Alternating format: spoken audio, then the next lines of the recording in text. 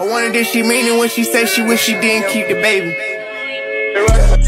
Told Sally to speed it up, you ain't driving Miss Daisy. Rolls Royce truck clutch, yeah, you driving little baby. Hit from the back and grab a neck, you be driving her crazy. Ain't work no job.